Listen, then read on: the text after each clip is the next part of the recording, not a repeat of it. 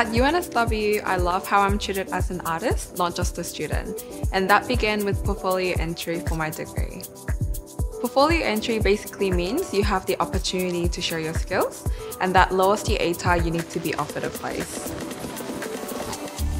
The point is to show your potential, not necessarily perfect technique, so I submitted a really diverse portfolio like photography, digital animation, and then my HSC major work, which is really personal about my Korean identity.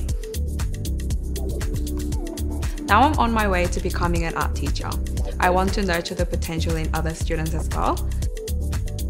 I would say to year 12 students, um, whatever path you want to follow, there is more than one way to get there. So use your portfolio to showcase what lights you up.